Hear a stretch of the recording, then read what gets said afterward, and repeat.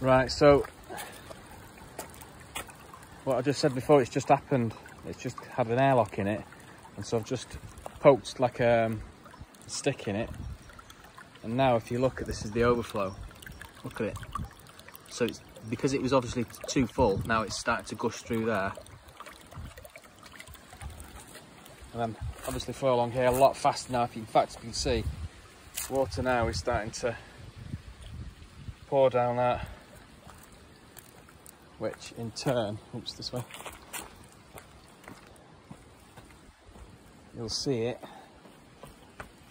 coming out of that hole I showed you before.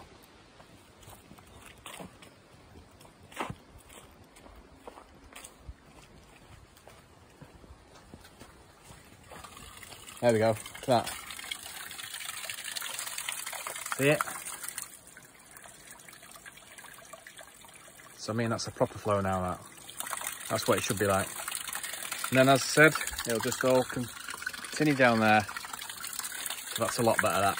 So just keep your eye on that uh, on the the it's the left hand pond that does it with the, the fish pond. The left hand pond you have to just just make sure that that's um, it's free. It's just an airlock that's all. So just uh, now you know.